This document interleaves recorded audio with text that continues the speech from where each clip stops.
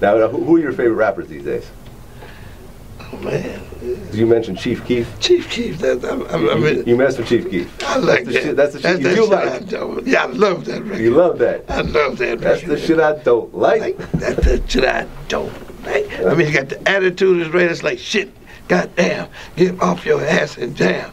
That's that shit I don't like. And they do it with such conviction. I mean, um, Dr. Dre's The Chronic, a lot of people consider that the greatest hip hop album ever. That was really based on your music. Like, that was Well, George Clinton. Dr. Dre, Dr. before they did before they would uh, NWA, he used to have a club here called Uncle Jam's Army. That was the name of one of our albums. Right. That was before he ever started rapping. He was, they was DJing Battle Cat. They was DJing. Right. So he had a lot of P Funk in him. You know what I'm saying? It was just like the, that was like the mothership album Yeah. of, of uh, hip hop. Were you, were you proud of that album? I'm proud of yes. Yeah. I'm proud of that one. Public Enemy, Rakim, all of them. They used a lot of NWA. They used a lot of funk. Erick Sermon, all the people. They used a lot of funk. Digital Underground. They used a lot of funk. I'm proud of it.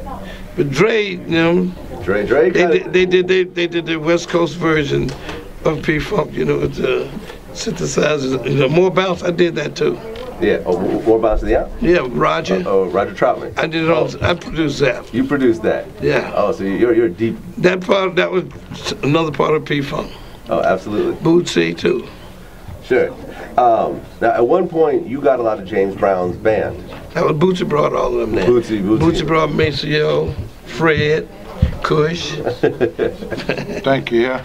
Cool man. I got to get I got to get up out of here myself. Okay, he got you. Y'all do your thing. Y'all do your thing. Um, Got to go. oh, oh, oh, just a couple more questions. What was really your relationship with James Brown, and how much influence you guys have on each other? No, I mean just the fact that we work with the same people. You know, Bootsy and Fred and Mason and all of them. I, I knew him. We worked on one or two records together, but um, I didn't know him that well. Yeah. But you know, when they talk about the king of the funk, you two are always mentioned together. I mean, Yeah, but I mean, there's a lot of people that's funky. Believe me, I can give you some funky folks that funkier than both of us, really. you know, there's lots of funky folks around. You know what I'm saying? But you got to. Sly Stone is one of the funkiest folks you could ever find. absolutely. You know, Stevie Wonder when he wanna be, Oh yeah. Prince when he wanna be. They just choose to do other type of music most of the mm-hmm. time. But there's a whole lot of them that just Motown was funky. Period. Everything about Motown, that bass of Jamerson made everybody funky.